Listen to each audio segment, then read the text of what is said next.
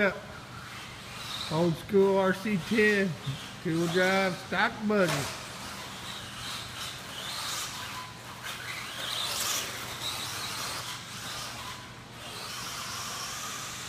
Thing hooked up.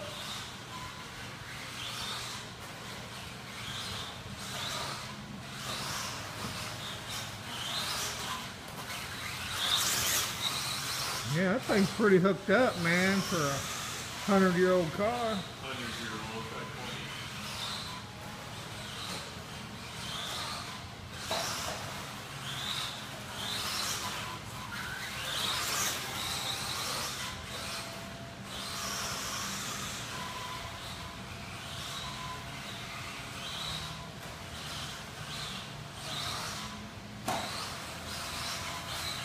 Ooh, you think? I think it looks good.